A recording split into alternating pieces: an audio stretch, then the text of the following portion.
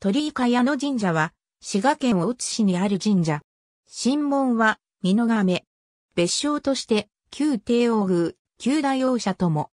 祭神は、以下の人柱で、旧帝王大明神とも称している。なお、明治に上記一柱になるまでは、以下の五柱を祀っていた。大津市東部、瀬田駅の裏手すぐに鎮座する。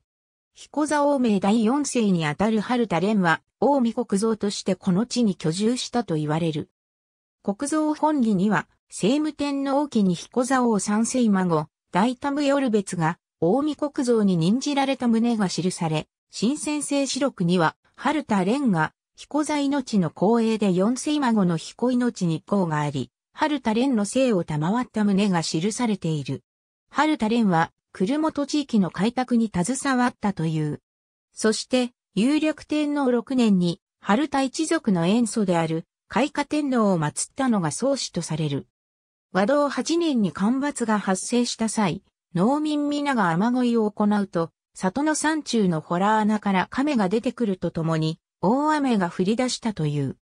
この伝承にちなみ神門は、美濃亀という独特のものであり、拝殿前には、藁で作られた亀が飾られている。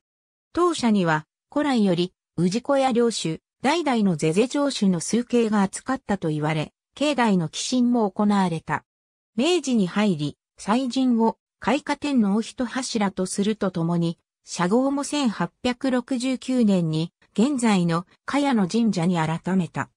1888年には東海道本線の設置で境内地は2分され、その後の増設工事もあったことで、境内地は縮小し、現在に至っている。本殿、ありがとうございます。